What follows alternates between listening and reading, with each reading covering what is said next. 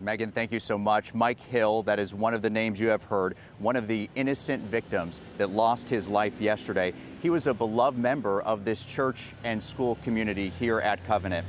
Earlier today, our reporter Allie Lynch, she had an opportunity to speak with a man who built a very close relationship and a very close friendship with Hill over the past 15 years.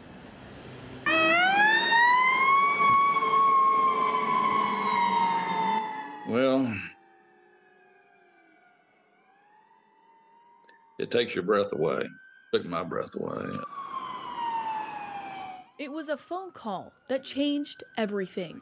I know. I was just rattled. I was just uh, your heart. Your heart gets it feels real heavy, and uh, uh, you realize you don't get a chance to talk to him again until you see him in eternity. Jim Bachman now faces that reality. His beloved friend and custodian, Mike Hill. Salt of the earth kind of fellow. One of the six victims in the Covenant school shooting. He didn't deserve this, I'll tell you, because um, he was a sweet man. He's called Big Mike, big, strong, strapping fella. With a big heart to match. And he, he would know the kids by name. It was a deep bond the 61 year old and Bachman shared over the last 15 years. She's the one if we needed some heavy lifting done. I'm too old to do it, so we called Big Mike come out here and help us. And he always would. But I gave him my car, show you how much I love him.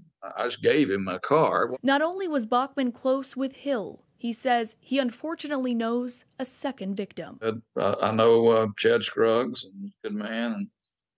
And um, he lost his precious little nine year old daughter. Bachman, a former pastor at Covenant Presbyterian Church, remembers shooter Audrey Hale attending the school. Uh, my wife substitute was a substitute teacher at the school back in 2004 when Audrey was in the second grade. All too familiar with the church, school, and community, he says this hits too close to home. It's changed a good bit since my time there, but uh, it could have been my son. He was in school there, uh, second, third grade, and I know I know that hallway, and I know that office suite. Nobody wins in these things; everybody loses.